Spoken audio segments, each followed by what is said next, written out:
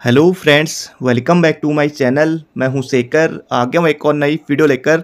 दोस्तों, पुलिस भर्ती को लेकर आज दोस्तों फिर न्यूज़ यहाँ पर आई हुई है। तो बहुत जल्दी दोस्तों आपको देखने को मिलेगी उत्तराखंड पुलिस कांस्टेबल की भर्ती। तैयारी, पुलिस में 1550 पदों पर जल्द होगी भर्ती। जी हाँ दोस्तों 1550 पदों पर जल्द होगी भर्ती। मुख्यमंत्री ने की थी पुलिस में 1550 पदों पर भर्ती की घोषणा। दोस्तों, इसमें महिला और पुरुष सभी के लिए पद होंगे। राज्य लोक सेवा आयोग को जल्द भेज दिया जाएगा अधियाचन अब दोस्तों, जो राज्य लोक सेवा यहाँ पर बताया गया है, अब देखने वाली बात होगी, क्या यूके पीएससी कराएगा या यूके ट्रिपल एस कराएगा। दोस्तों, कोई भी आयोग पेपर कराए, आपको अपनी तैयारी करनी है।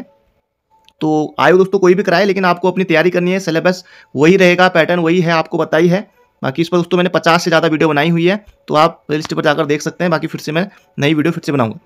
तो अभी से दोस्तों आप लोग शुरू, तैयारी अपनी शुरू कर दीजिए। फ़िज़िकल की भी शुरू कर दीजिए थोड़ा थोड़ा करके और बाकी रिटर्न एग्ज़ाम की भी आपको करनी है, क्योंकि दोस्तों इतना पूरा आपके पास दिन है, चौबीस घंटे आपके पास हैं। तो अभी से दोस्तों देना शुरू कर दीजिए। प्रदेश में युवाओं के सामने जल्द ही रोज़गार के नए अवसर खुलने जा रहे हैं। इस कड़ी में पुलिस में 1500 पदों पर भर्ती की जा रही है। इसके लिए राज्य पुलिस विभाग की ओर से राज्य लोक सेवा आयोग को अध्याचन भेजा जा रहा है।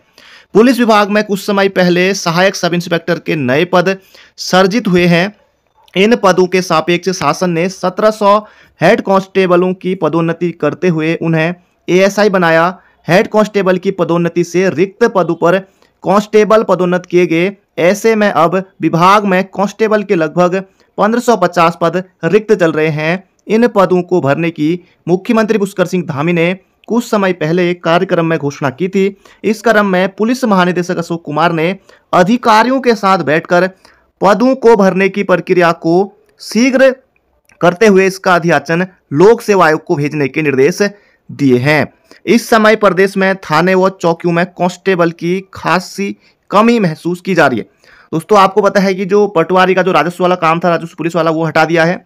तो इसलिए दोस्तों, नए जो थाने हैं, नई चौकियाँ हैं वो दोस्तों उत्तराखंड में खुल रहे हैं और खुलेंगे आने वाले समय में तो इसलिए दोस्तों कांस्टेबलों की बहुत आवश्यकता है तो और इसलिए ज़रूरी भी है कि बहुत जल्दी यहाँ पर भर्ती आने वाली है।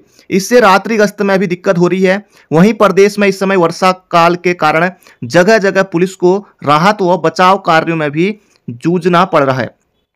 दोस्तों पुलिस दोस्तों पुलिस ऐसी चीज़ है, दोस्तों पुलिस वो काम करते दोस्तों जो कोई नहीं करता। चाहे दोस्तों कोई अच्छा काम हो तो पुलिस, चाहे बुरा, कोई बुरा काम हो तो दोस्तों वहाँ पर हर जगह दोस्तों पुलिस। तो इसलिए उसको यहाँ पर पुलिस की भर्ती आपने देखा ही होगा, चाहे दोस्तों कुछ भी हो, कहीं पर दंगा हो रहा है या मेला हो रहा है, कुछ भी चीज़ें हो रही हैं तो हर जगह दोस्तों पुलिस की भूमिका रहती है समाज में।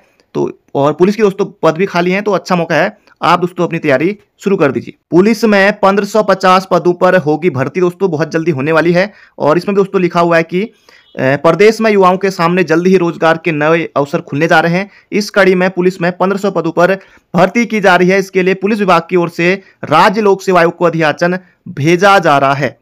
दोस्तों, ये थी आज की जानकारी। पल पल की भर्ती अपडेट दोस्तों आपको हमारे चैनल पर मिलते रहेगी। इसलिए दोस्तों, चैनल को सब्सक्राइब करके ज़रूर रखेगा और वीडियो को ज़्यादा से ज़्यादा शेयर कीजिए सभी अभ्यर्थियों को, ताकि सभी अभी से तैयारी में जुड़ जाएँ।